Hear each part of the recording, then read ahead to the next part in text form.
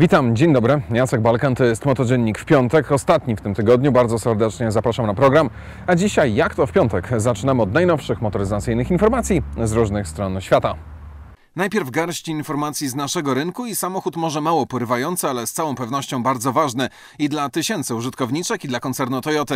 Chodzi o Yaris najnowszej, trzeciej już generacji. Zgodnie z wcześniejszymi zapowiedziami auto jest nieco o 10 cm dłuższe i nieco ładniejsze. Przód się wyostrzył, nie przypomina już hipopotama, a wnętrze nie jest zdominowane przez centralnie umieszczony wyświetlacz. Ceny są z pozoru dość atrakcyjne. Podstawowa wersja z silnikiem o pojemności 1 litra kosztuje 39 900 zł, ale mocniejsza stukonna w tym wypadku odmiana 1.3 z manualną klimą, lakierem metalik i z pięciodrzwiowym nadwoziem to wydatek ponad 50 tysięcy złotych. I z całym szacunkiem, ale za takie pieniądze można już kupić naprawdę fajnego kompakta, włoskiego, koreańskiego albo czeskiego. Tym bardziej, że zakup samochodu to nie koniec wydatków. Pojazd trzeba przecież jeszcze zarejestrować i ubezpieczyć. Polis nie miał zapewne siedzący w wózku widłowym właściciel widocznego na filmie Mercedesa. Ten nietypowy incydent miał miejsce w Norwegii. Okazuje się, że tam też kradną samochody, choć najwidoczniej nie za bardzo potrafią to zrobić a ten facet miał podwójnego pecha, gdyż nie ujechał swoim łupem metra. Zaraz po odpaleniu podjechał właściciel wózkiem widłowym, uniósł przód i wezwał policję, która przyjechała zresztą dość szybko.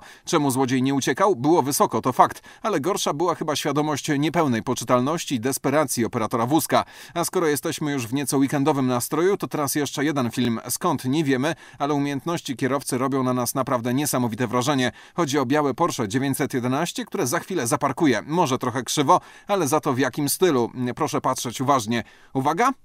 Leci. Tak jest. Kierowca stracił nad pojazdem panowanie, zrobił niesamowite salto w powietrzu i po chwili wysiadł ze swojego wymarzonego, jak się domyślamy, samochodu, żeby obejrzeć szkody. Więcej motoryzacyjnych, ciekawych informacji już w najbliższym Motodzienniku w poniedziałek, ale również dzisiaj w Radio Tok FM po 18.40, gdzie zapraszam na test m.in. tego samochodu, który stoi za mną. Jeden z najbrzydszych samochodów świata, czyli BMW 5 GT e, i odpowiedź na pytanie, czy warto za ten samochód dać 450 tysięcy złotych.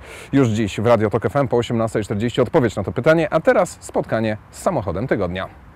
Lata 60. to dla motoryzacji świetny czas. Kolejne, dorastające już po wojnie pokolenia miały nie tylko marzenia, ale również pieniądze, które pozwalały na ich realizację. W Stanach szaloną popularnością cieszyły się choćby Fordy Mustangi i zachęcony ich sukcesem Ford postanowił zbudować podobne auto, ale przeznaczone na rynek europejski. Podobne, czyli zdecydowanie sportowe, nie tylko z wyglądu, ale również z mocnym silnikiem i napędem na tył. Chociaż z tymi mocnymi silnikami to się chyba nie ma co rozpędzać. Pierwsza generacja Forda Capri oferowana była z motorami V6 o dużej pojemności i o mocy 150 150 koni, ale podstawowe wersje napędzane były, w zależności od tego, czy była to odmiana budowana w Niemczech czy w Wielkiej Brytanii, co najwyżej silniczkami o pojemności 1,3 lub 1,5 litra. Po pięciu latach od rozpoczęcia produkcji w 1973 roku udało się sprzedać milionowy egzemplarz, a to zachęciło firmę do inwestowania w kolejne generacje. Druga produkowana była do roku 1978, a ta, która interesuje nas najbardziej i jednocześnie najbardziej nam się podoba, była montowana do roku 86.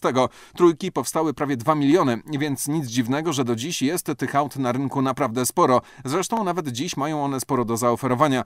Capri było dostępne z dziewięcioma różnymi silnikami. Fakt, najsłabsze 1.3 czy 1.6 miały ledwo 70 koni i rozpędzały to auto do setki prawie jak Polones w 16 sekund, ale dostępne były też odmiany mocniejsze, sześciocylindrowe, nawet wzmocnione turbiną. Najmocniejsza odmiana 2.8 z doładowaniem miała prawie 190 koni i sprint do setki zaliczała w 8 sekund, ale znalezienie takiego egzemplarza graniczy dziś z cudem. Powstało ich ledwie kilkaset Najczęściej w sprzedaży pojawiają się auta z motorami V6 o pojemności 2,3 lub 2,8 litra. Kosztują od 4000 za coś, co jeszcze jeździ, do 15-20 za egzemplarze po bardzo często skrupulatnym i bardzo kosztownym remoncie.